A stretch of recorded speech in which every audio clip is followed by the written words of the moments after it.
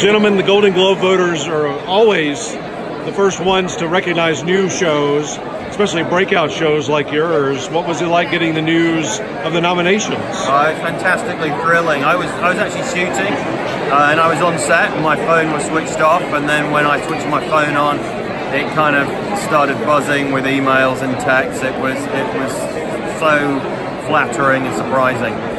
And when you say shooting, is it already on new episodes that you're working on? No, that, that is a different show. Oh, A show called Line of Duty that we we also make. Oh, I've already been hearing things about that. Yeah, so we've uh, just wrapped on season five.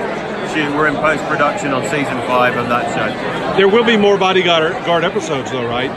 Well, we're in talks about that. There's a there's a lot of desire to make more, and we, we want to give the audience what they want. But it's uh, it's still very early days in terms of that discussion.